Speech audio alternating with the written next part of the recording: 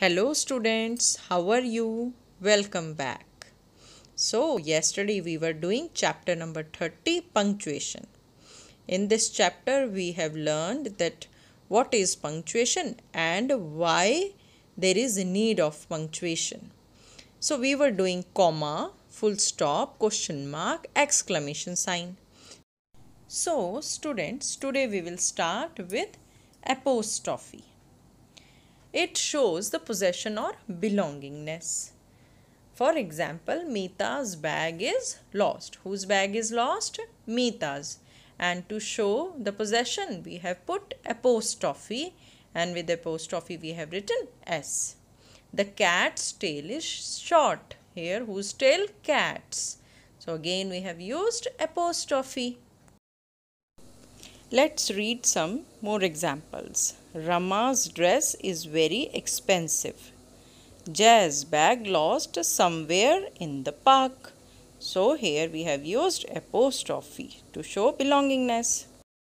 Next is inverted commas. Inverted commas are used to indicate the exact words spoken by a person means what a person has spoken. To mention that or to write that, we can use inverted commas. For example, Monali said, I have come first in the race. So, here what exactly Monali has said? That I have come first in the race. So, this we have written in double inverted commas. Open page 53 of your book, said Mrs. Sane. So, what Mrs. Sane has said? She has said exact words open page 53 of your book which we have written in inverted commas. So this is how you can use inverted commas. So next is capital letters. So students where we can use capital letters. So if any sentence is written its first words the first letter must be capital. For example, painting is my hobby. Now here what is the first word? Painting.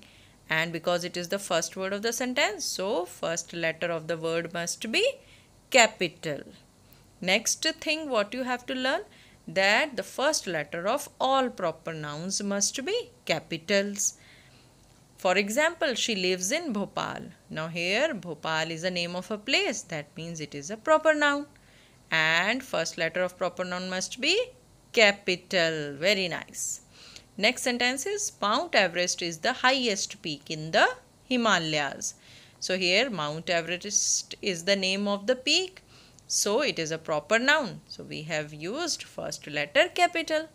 And Himalayas is the name of the place. So we have used first letter capital. And students, one more thing that where you have to use the capital letter where there is name of the book or any story or any movie is written. For example, the Ramayana. This is the name of the story. And the discovery of India. This is the name of the book. So, remember this. That where you have to use capital letters. So, here I have written some sentences from the back exercise of your book and you have to use punctuation marks here students. So let's read them. So for sentences Rajiv's bag is new. Now by reading the sentence because no punctuation mark is written here so it means कि बहुत सारे राजीव हैं है ना meaning change हो गया next sentence is he is playing outside said Mona my favorite movie is Jurassic Park. Where has Raj gone?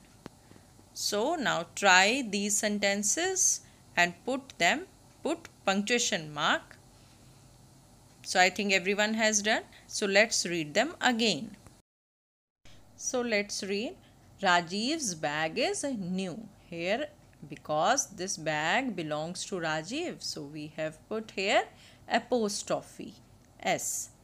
Next sentence is he is playing outside said Mona. So these were the exact words spoken by Mona.